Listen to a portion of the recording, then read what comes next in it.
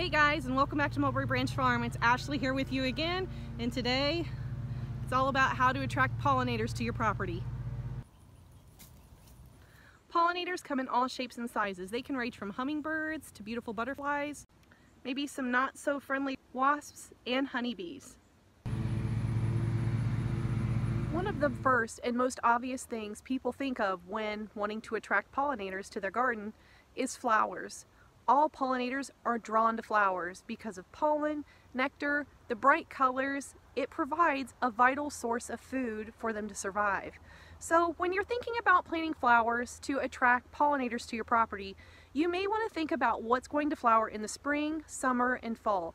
That way the pollinators in your area have a year-round reason to come back and visit your property over someone else's.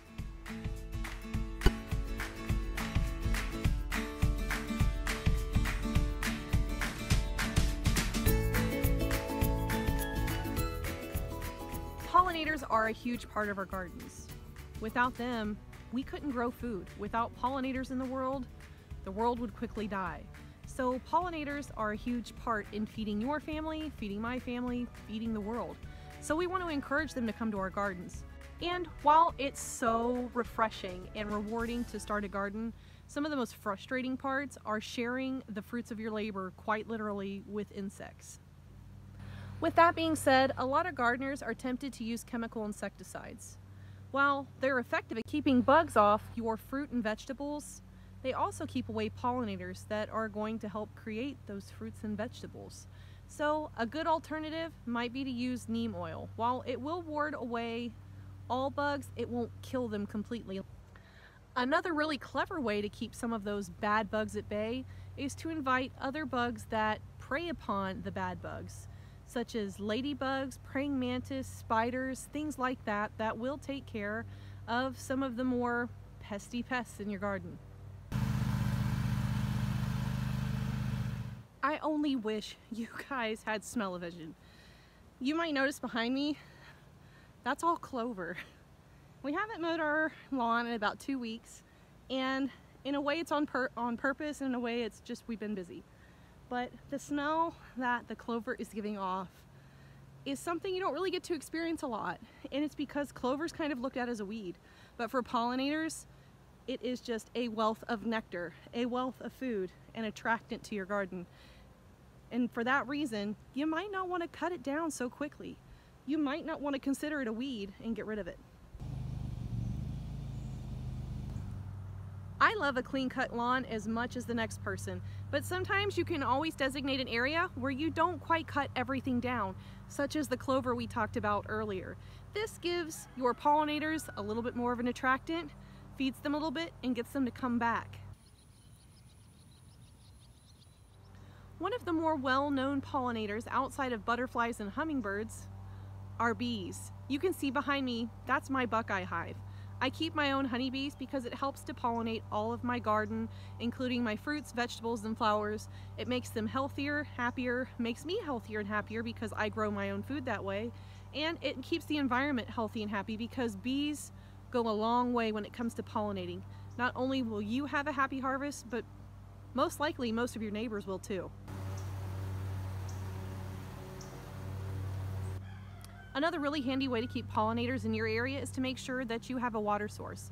This behind me is considered a bee feeder, which sometimes when starting new hives will fill with a sugar water dilution that we make into a syrup. But if you're just trying to water your bees, you can fill this with water too.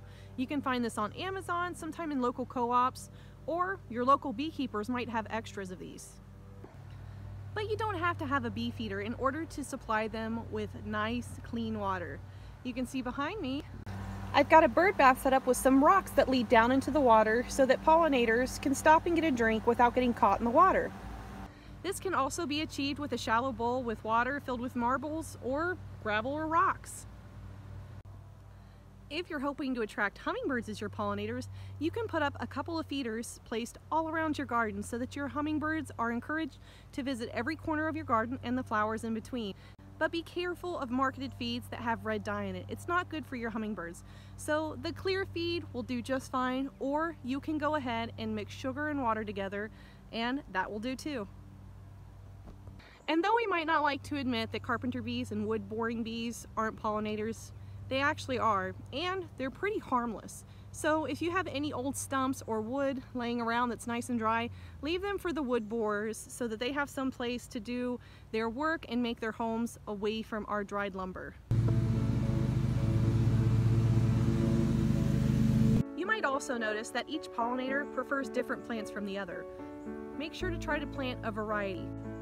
When planting other flowers for your pollinators, think about your indigenous flowering plants. The reason for that being is a lot of your pollinators in your local area already know and are familiar with these plants and probably prefer them over ornamentals or invasive species, such as milkweed, feverfew, chamomile, the list goes on and on and on. So do a little research, plant these beautiful indigenous plants, and watch the pollinators flock to your garden. If you might be unfamiliar with the indigenous plants that flower in your area, you can always get with your local agricultural extension along with the Department of Natural Resources in your area and they should be able to give you a long list of flowering indigenous plants. They might even be able to let you know when they're having plant sales or nurseries that they might recommend for you to buy those plants from.